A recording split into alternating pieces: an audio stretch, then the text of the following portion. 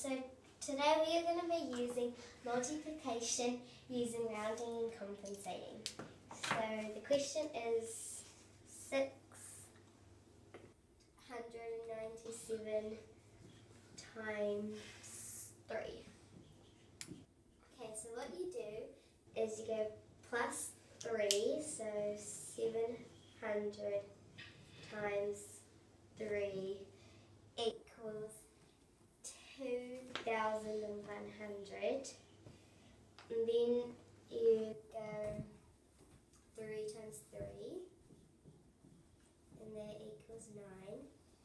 And then you go 2,100 minus 9, and that equals 2,091.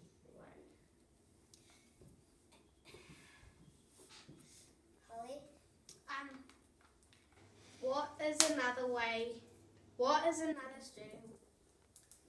strategy, we can use for this question? Um, well, I don't really.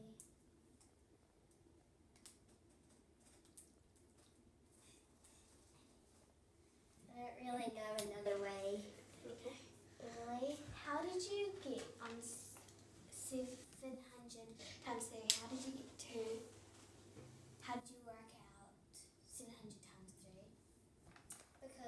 7 times 30 is 21. And